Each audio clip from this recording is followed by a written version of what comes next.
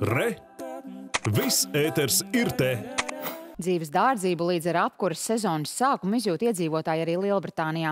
Tomēr gaidāmo svētku noskaņu nekas nespēja izjaukt, un pagājušajā nedēļas noglē Lielbritānijas latvieši tikās Ziemassvētku tirdziņā Daugavas Vānaga fonda īpašumā Straumēni. Lai gan šoreiz netika kuplā skaitā kā parasti, tomēr ar rūķiem, piparkūkām un paštaisītām dāvanām Ziemassvētku sajūtu izdevās noķert. Vairāk stāstīja Ilza Kalve. Anglijā temperatūra tuvu nulē nozīmē, ka ārā ir visai augsts, taču latviešu ģimenēm tas nav iemesls, lai sēdētu mājās. Dziedātāji un dejotāji bija sagatavojuši priekšnesumus. Ciemos nāca Ziemassvētku vecītes ar dāvanām, tika skaitīti latviešu dzīvolīši un iets rotaļās. Pašu.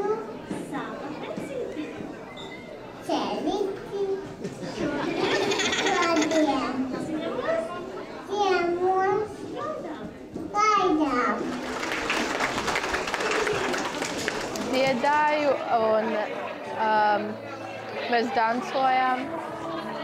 Un tur bija selevets un de, deva dāvanas.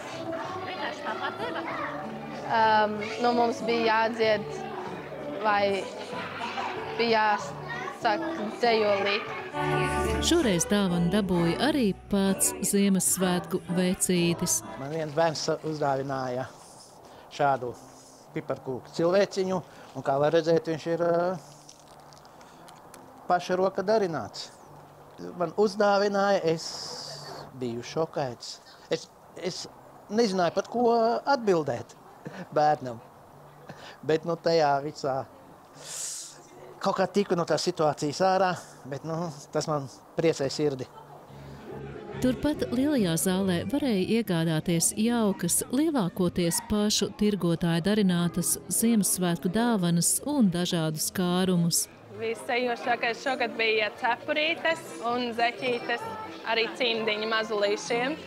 Un interesējās arī par lielākiem izmēriem, tā kā nākošo gadu noteikti jādomā arī par lielākiem izmēriem, nevis tikai mazulīšiem. Es pārdevu, liekas, kad vienu auglu un divas bumbas. Tu pirmoreiz palīdzi mammai? Jā. Pērk lēnām ap, ar apdomu, jo domāju, ka daudzi uh, vairāk domā par Ziemassvētku dāvanām, un viņiem ir uh, jādomā arī, kā būs nākotnē.